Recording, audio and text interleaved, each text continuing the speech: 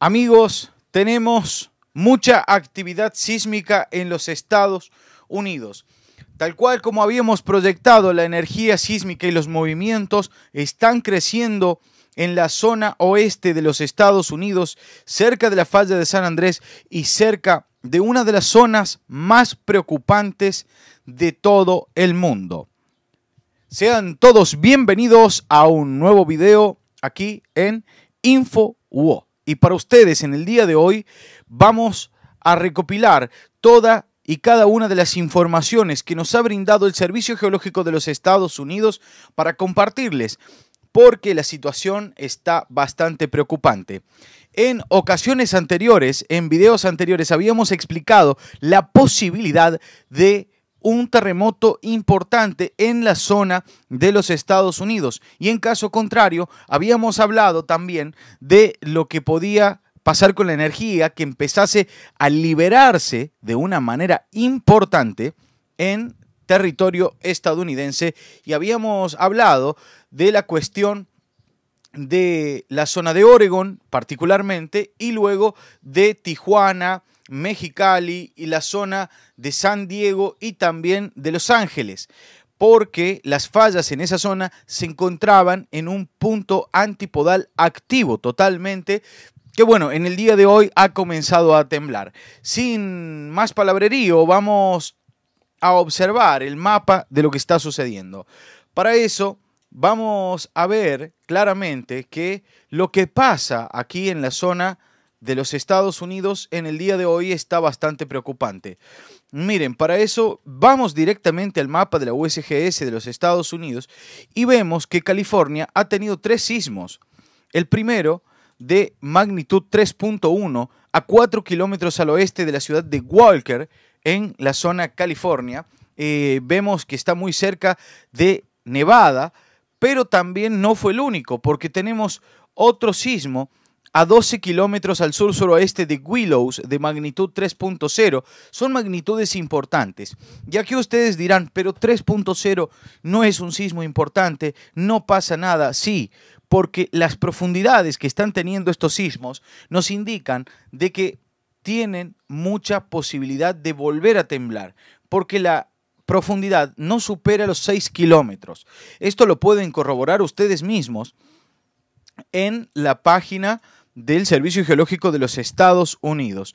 Vemos nuevamente que la actividad, el mínimo sismo que se ha liberado es de magnitud 2.5 a 2 kilómetros al norte-noreste de Canyon Dam, que se encuentra también en California con una profundidad de 7.4 kilómetros. Vuelvo y repito, mucha gente dirá, pero eso no es un sismo. Y es súper importante y vamos a ver por qué porque con el terremoto del el Océano Índico que sucedió horas antes, vamos a ver en las últimas 48 horas, vamos a ver las últimas 48 horas, nos indican que en las últimas 48 horas tuvimos sismos importantes en la zona del Océano Índico. Aquí está, miren, este aquí cerca de Madagascar, tuvo una magnitud de 5.6 y 5.9 el máximo, que son magnitudes importantísimas para hacer estos análisis, que su punto antipodal nos indicaba, vamos a ver, aquí tenemos, disculpen, vamos a ver, este de 5.9, sucedió y nos da como punto, este sucedió el 28 de julio, y hoy es 29 de julio. Para la gente que, por ejemplo, no siempre nos dice, no, hoy no pasó, deben revisar la fecha del video porque este video es de hoy 29 de julio. Vemos también que esto, el día 28 de julio, dio un punto antipodal muy importante que lo podemos observar. Y miren todos los sismos que ya se han registrado en esta zona incluyendo el que vamos a nombrar ahora. Este sismo de magnitud 4.4 frente a la costa de Oregon. ¿Y por qué es tan importante la costa de Oregon? La costa de Oregon es sumamente importante, sobre todo dentro del cinturón de fuego del Pacífico, porque se encuentra una convergencia de placa bastante extraña.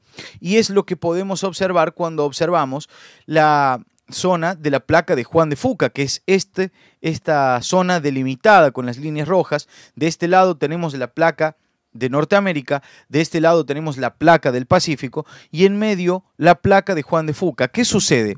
Que esa placa está presionada porque el movimiento de la placa de Norteamérica es en dirección para allá, eh, norte, noroeste, la placa está estática y en parte del Océano Pacífico es dirección oeste, e, es dirección este. Entonces, la placa aprietan y presionan de los dos lados, generando tensiones sumamente importantes. Miren, si nosotros colocamos la visión de satélite, podemos observar muy claramente cómo se encuentra fracturada la zona del océano, en el fondo del océano. Miren la cantidad de fracturas que hay. Y esto es terrible porque tiene un potencial sísmico histórico de más de 9 esta zona. Y como podemos observar en este otro mapa, vemos que la actividad continúa creciendo y no es lo único de lo cual tenemos que hablar. Porque aquí en esta zona de Estados Unidos, sabemos ya todos, lo han hecho famoso, le han hecho hasta una película a la zona de la falla de San Andrés, debemos observar que el potencial sísmico de Oregon es mayor que el de San Andrés, lo cual ya nos presenta un panorama totalmente distinto porque es la zona que, se, que, está activa. ¿Qué nos faltaría por temblar de ahora en adelante? Debemos observar porque de seguro la actividad va a seguir creciendo va a seguir creciendo de manera importante en la zona de California y en la zona de Oregon. La zona de Perú va a continuar registrando sismos porque no hay actividad sísmica prácticamente y no ha habido absolutamente nada desde Perú hasta la zona de Ushuaia en Argentina, que es el punto más austral, no hay absolutamente nada de actividad tampoco. Y también tenemos un 5.8 en Indonesia que no ha causado preocupaciones. Por ende, debemos prestar atención a lo que está sucediendo. Y aparte, porque ya en el día de hoy, el día de mañana y el día lunes nos espera la conjunción sísmica más importante del mes que puede estar haciendo temblar toda la zona. Y teniendo en cuenta que las cargas energéticas de las placas tectónicas se encuentran en la zona de Norteamérica, es ahí a donde podría hacerse una liberación de energía. ¿Qué potencial puede llegar a tener? 5.1 a 5.5. Esperemos, eh, en realidad la zona tiene mucho más potencial que supera ampliamente la magnitud 7, pero según las cargas y las liberaciones no debería superar la magnitud 5. Ahí hay una aclaración bastante importante. Y vemos que el próximo punto antipodal que se encuentra activo ahora nos indica, miren, que la energía puede llegar a crecer en la zona de Perú, en la zona centro de Perú y de eh, Chile, en el norte de Chile. ¿Cuál es la preocupación? Que la zona de Lima, Perú, no ha liberado la energía que tiene acumulada hace ya mucho tiempo. Así que atención, amigos, de Perú también. Ya tenemos mucha información compartida con todos ustedes. Esperemos que a todos les agrade la información y no olviden suscribirse, darle like y activar la campanita. Nos vemos en el próximo video.